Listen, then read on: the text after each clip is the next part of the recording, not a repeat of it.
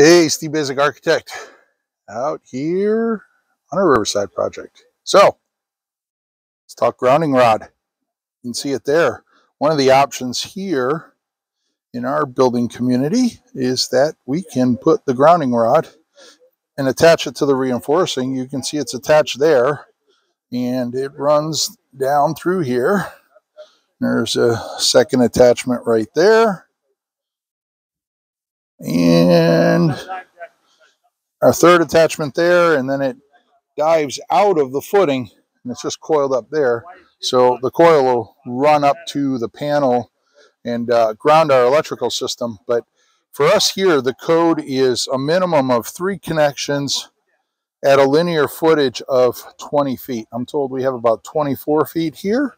We have our three connections. And we got our piece here that's going to go up into the panel. So we are good and soon to be grounded. Steve Baczek Architect. Talk to you soon.